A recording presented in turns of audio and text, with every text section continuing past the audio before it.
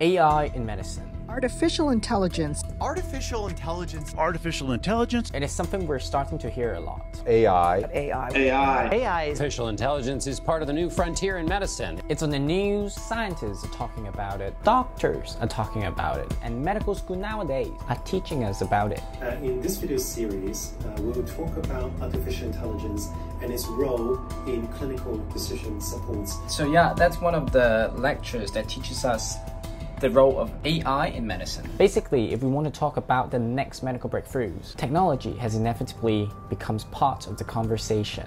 But the idea of medical AI seems kind of far-fetched, right? Fancy machines and futuristic tech straight out of science fiction. Running diagnostics.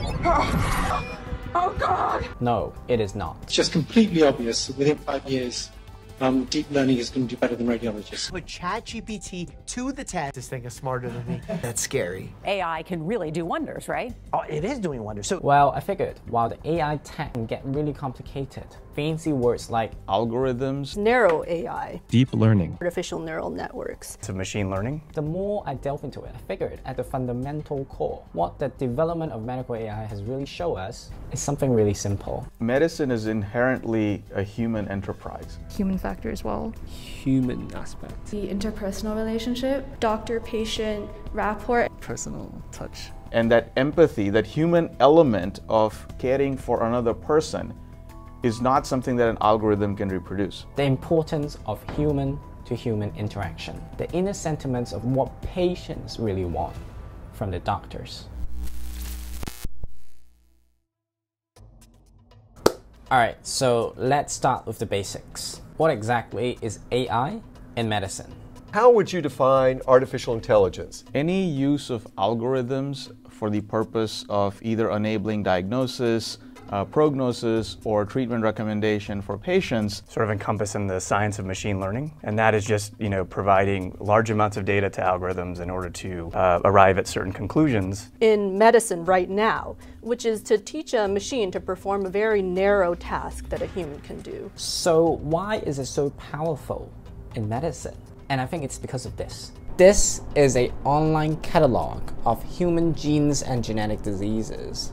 It is an open source database that literally tells you the specific genetic sequences that determine certain things in a human body. From skin color, hair color, eye color, to rare genetic diseases. The point is, what underlies medicine is science, and science is data, and from centuries of data, we see patterns. CheXNet was given tens of thousands of images and told which ones have pneumonia and which don't. 280,000 of those scans. She's looked at now over 200,000 mammograms. Providing large amounts of data to algorithms in order to uh, arrive at certain conclusions. All done by computer because they look for patterns that the human brain couldn't have seen, but they saw. Human physiology is a pattern. Signs and symptoms experienced by patients are also patterns. Diagnosing disease by clinicians is also based on patterns, and AI is really good at it. Is it possible that it could tell you before I even know that I'm having problems? Yes, 100%. They have the ability to analyze billions of data points and come into a conclusion really quickly.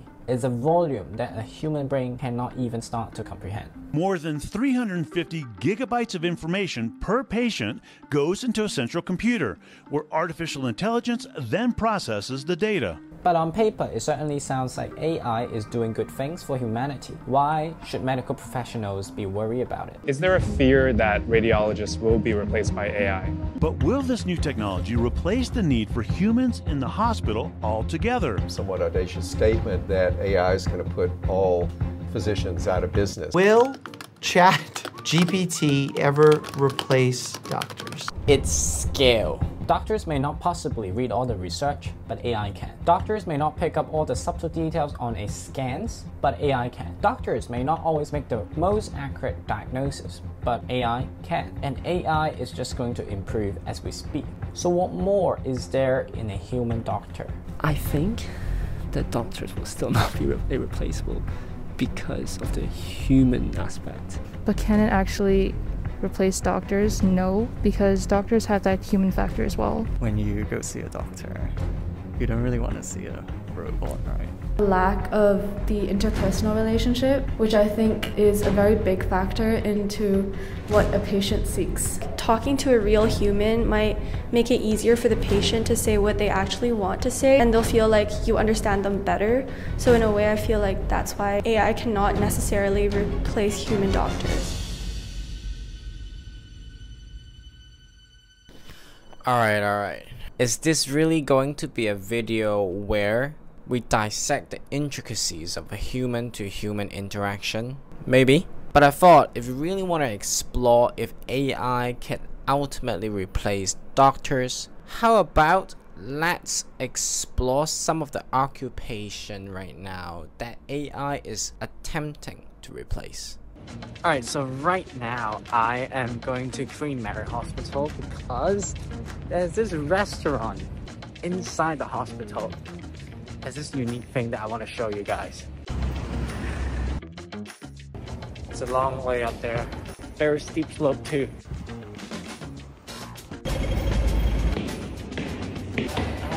Almost there. Yes. Right here. Alright, here we go. I'm actually following you. Whoa. Alright, we have this mess. Like a robot clean it up. Need human. 唔该晒，系。好忙啊，都系咪？系啊，而家午饭时间。麻烦晒，麻烦晒。哦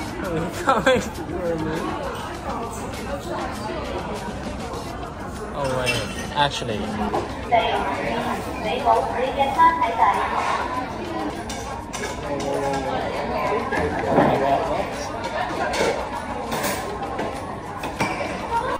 Alright, so as you can see, there's this minor error that happened.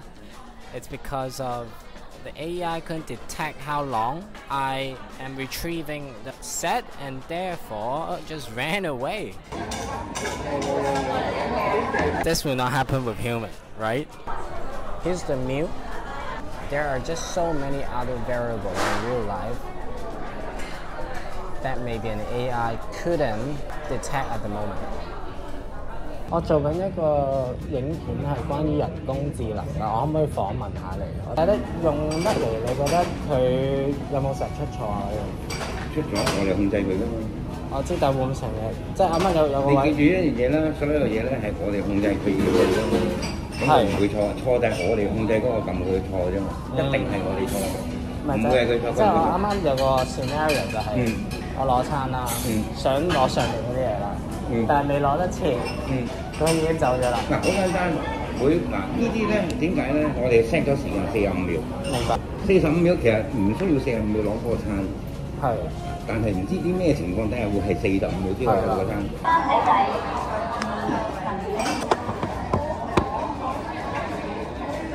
咁佢會走咯。明白。就系咁解啫嘛。而你觉得都好帮得手添，系咪？梗系帮到手啦。系咪啊？请少两个。系啊，得呢个已经系可以帮到我哋嘅。其实我已经考虑紧要摆多只喺度。摆多只你已经系啦。讲紧㗎啦。Okay. Very cool, right? But here's the thing. What if I want some food recommendation because I have food allergy? What if I'm a child? What if I'm someone who has disability that needed help to carry the meal? They can't do that yet. The thing is, AI is really good at providing scripted response. AI is not really good at nuanced and spontaneous interactions in the moment, especially in new scenarios and new context. It is only as good as what is programmed based on previous input. But reality is not like this. To what the whole world just experienced, medicine is in constant new discovery, new diseases, and new patterns to be found. Let alone that the interaction between each patient is different and new. Can AI really learn that? Maybe. Taken from the experience, I think the important point to take away is that for AI to excel, there is always a human to govern the entire process. All today require a human intervention to come in and say, I agree or disagree. And instead, thinking it as a replacement, I think it more as a partnership. Human and AI both have their strengths and weaknesses. Humans are good at creativity, adaptability, physical capability. Whereas AI, on the other hand, is really good at scalability, memory, speed, and efficiency. But ultimately, because we always need a human to continually perfect the AI system, instead of can AI replace doctors, the better question is, how is AI changing the role of doctors? So there's a lot of potential how it's going to transform what we do as physicians. Take big burden off the physicians and nurses and provide them time to actually engage what we are here for, taking care of the patients. We will use it not because it's outperforms me, but it's going to augment me. Are you worried that doctors is going to be replaced? Uh, no, I'm very welcoming of AI if it helps me make my job more easy. I'm definitely the positive for change, welcoming for change. I'd say doctors would be here to stay. I think I'm optimistic, thinking that it replaces doctors. I think we can think of it as helps the doctors in sort of different aspects of their job. Yeah, I'm optimistic. Sure that like humans will find different ways to make it more well suited to what we're doing um, as part of our work as well. So hopefully it'll turn out for the better. And finally, I want to leave you guys with this one quote. The cool thing about AI, it's going to make the good doctors great. Yes, the whole point of this technology is to make good doctors great. Of course, there will be concerns on the ethical and privacy issues of this technology, but at the fundamental core, I think the development of AI has accelerated and show us the importance of what patient really wants from the doctors. Empathy. Empathy. Empathy. Hope. The interpersonal relationship. Doctor-patient rapport. Community. Personal touch. The expressions you make or your body language. Trust. Connection between another human and human. Thank you for watching this video. I really enjoyed doing this mini documentary style. What do you guys think about it? Definitely comment down below and tell me how I did. Give me a thumbs up if you like it. Definitely subscribe if you want to see more content like this. And with that all said, thank you for watching and I'll see you guys in the next video. Bye bye!